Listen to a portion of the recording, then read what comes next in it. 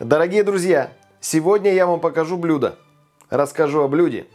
Блюдо довольно простое, но знаете, что это такое? Это любимое блюдо моего тестя.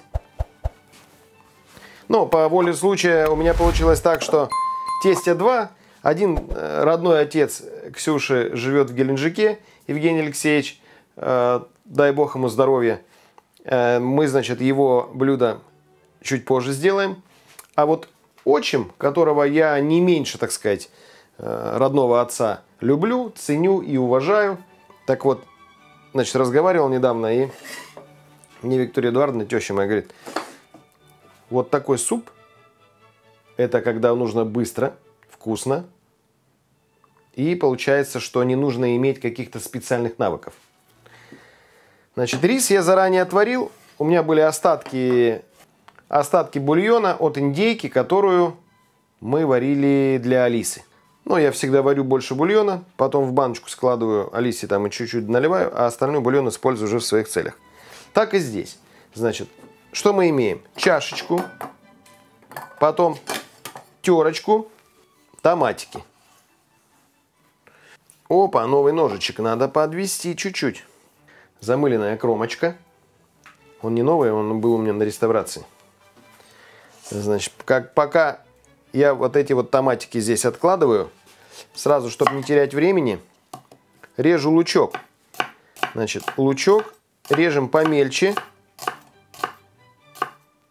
Поджигаю сразу сотейник, в котором я буду готовить суп. Ну, я готовлю небольшую порцию, поэтому значит, каждый по-своему все это делает. Для ресторанов, кстати, можно этот суп держать в заготовке, он прекрасно хранится. Но только, соответственно, рис держать отдельно. Этот суп может быть веганским. А может быть совершенно иного вкуса, мясного, настоящего. Если вы будете использовать помимо мясного бульона, веганский на воде варим, какой-то такой около веганский, около вегетарианский варим на бульоне, но не используем мясо, но вы можете, допустим, использовать мясо. Я во многих роликах рекомендовал. Я в нескольких роликах рекомендовал, если у вас в холодильнике будет стоять бульон с отваренным мясом, то вы всегда каждый божий день можете делать разные супы. Остатки масла. Все не выливайте, льем чуть-чуть. Чуть-чуть льем масло.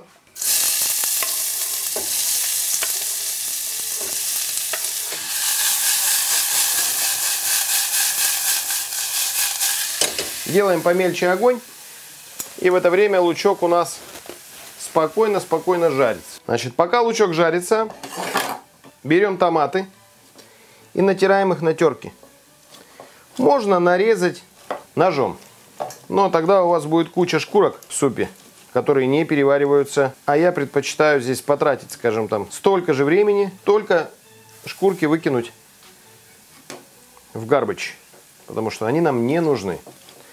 Кстати, если вот в ресторане происходит такое, вот мы недавно делали дегустацию, значит, с Юрой Ковальчуком, моим другом, шефом, э, остаются вот всякие шкурки вот такие вот. Мы их, знаете, что делали? Добавляли, например, отходы от рыбы варятся, головы, хвосты, панцирь от креветок. Мы сделали э, такой биск из всего, что было. Ну, где-то же дегустация, это же не меню ты еще составляешь. Все равно, если даже составляешь меню, остается очень много всякого хлама. Из хлама варишь очень вкусный бульон.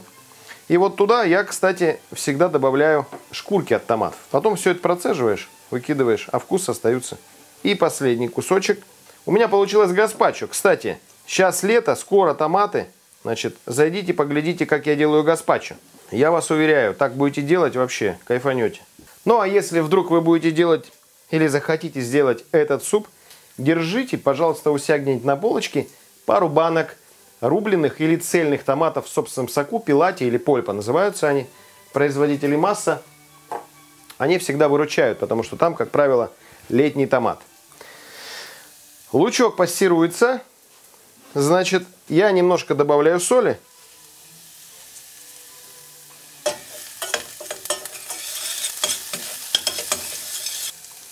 Лучок должен, как Виктория Эдуардовна говорит, а, покрыться такой золотинкой зазолотиться. Поэтому За температурой следите, сильно не давайте, чтобы он горел, но в то же время он должен жариться. Сразу скажу, количество томата регулируйте сами, но запомните одну важную истину. Суп должен быть в большей степени томатный, чем там бульонный со вкусом томата или рисовый со вкусом томата. Томат должен быть основополагающим. Вот он, слегка начал золотиться местами, где-то чуть-чуть поджарился, такие коричневенькие пошли. Можно вот до такого состояния или может быть чуть сильнее. Теперь выливаем сюда протертый томат. Опа! Видите, прилично здесь томата. Начинаем его прогревать. Прогреваем, прогреваем. Если на этом этапе остановиться, тогда что получим? Правильно, горячий гаспачо. И когда шеф-повара или официанты приходят из зала и говорят, что-то говорят, суп холодный. Он говорит, так это же гаспачо. Говорит, нет, клиент говорит, холодный суп, не могли бы его подогреть? И поваров тогда трясти начинает мелкой дрожью. Вот как раз можно вот так вот делать. Или тартар пожарить. А что, это сырое мясо, что ли? Ну да. Блин, я сырое не ем. Пожарьте мне, пожалуйста. Можно посмотреть, что есть из э, приправок. Например, я бы сюда добавил чуть-чуть зиры совсем капельку. Ну, потому что зира, томат с очень хорошо. Только главное перемолите и перемелите, короче, помола мелкого должна быть зира. Пол чайной ложки семян. Здесь же будет еще бульон, ну вот примерно тут на 2,5 литра. Где-то ориентируйтесь.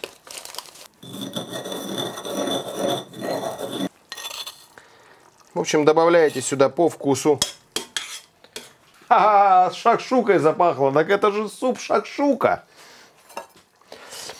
Значит, что делаем дальше? Бульон, кстати, надо попробовать. На соль и понять. Ну, такой. В меру соленый. Я переливаю, почему из чашки в чашку. Здесь были томаты, я просто мою бульоном чашку, чтобы ни капли томатов не оставалось. Заливаем сюда бульон.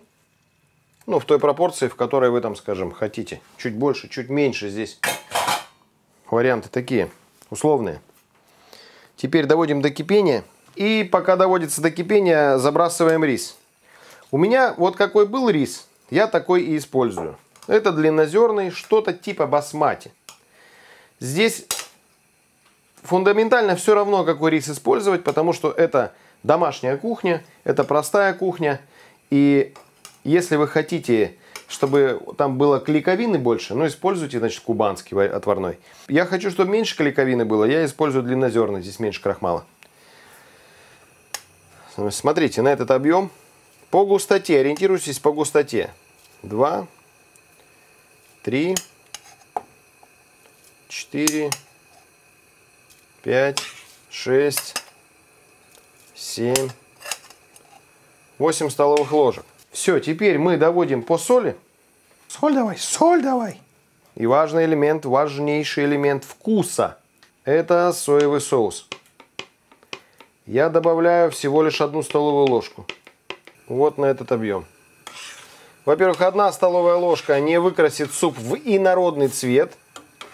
А во-вторых, вы его там не почувствуете. Вы всего лишь почувствуете улучшенный, усиленный вкус. Потому что соевый соус это усилитель вкуса.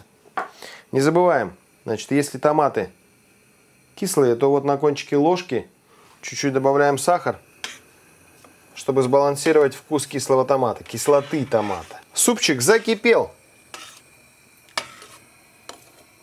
Ставим на маленький огонь. Финал уже. Значит, и вот тут вот листочек лавровый маленький на две части и закидываем. Как многие там спорят, да как вы, что вы можете там с самого начала варить. Вот в конце я кладу, в конце, друзья. В конце. Вот самый аромат. Хм, а неплохо. Неплохо. Теперь кусочек сливочного масла, граммов 20.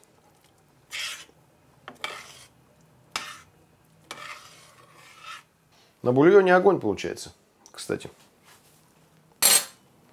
Теперь, значит, три зубчика чеснока. Но это, знаете, любовь. Мой авторский почерк. Десерт когда-нибудь замучу с чесноком, обещаю вам.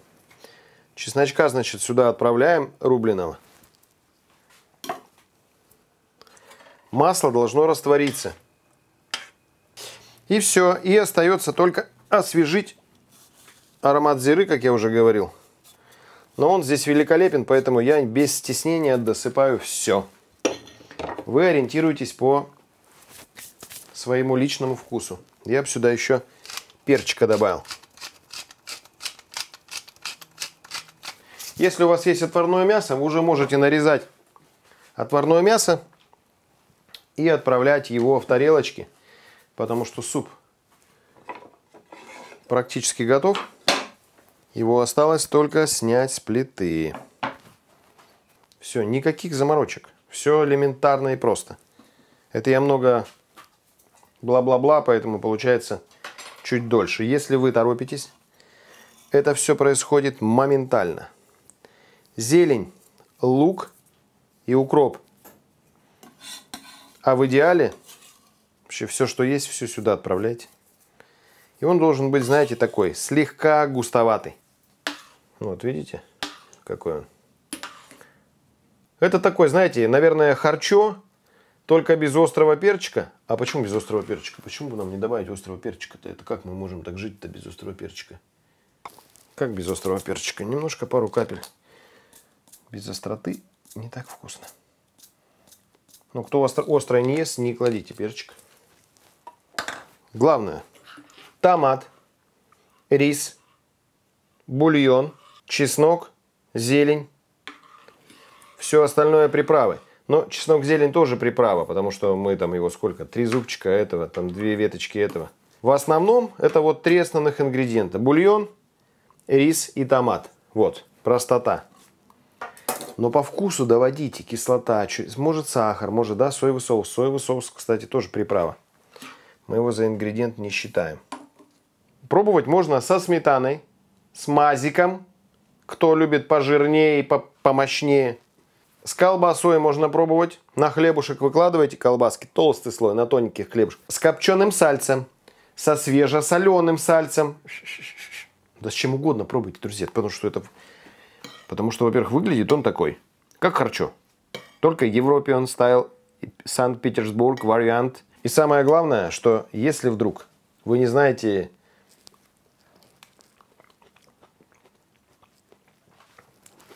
Если вы не знаете любимое блюдо вашего тестя, ребята, это epic fail. Ну как вообще такое может быть? Найдите. Помните анекдот? Прихожу злой, голодный с работы домой. Подхожу к холодильнику, открываю, нет сосисок. Поворачиваю голову, вижу улыбающегося тестя и думаю, понятно, сосиски в тесте. Так и здесь. Я ни разу не пробовал этот суп, как готовит Виктория Эдуардовна. Но Андрей Александрович говорит, что великолепно. Вот этот суп просто бомба. Просто бомбейшая бомба. Я вам обещаю. Если вы сделаете вот такой суп, только не, не только тесть и теща будут есть, а все ваши родственники. И каждый раз, когда будут ехать к вам гостям, в гости, к вам в гости, будут заранее звонить и говорить, приготовьте мне, пожалуйста, томатный суп с рисом.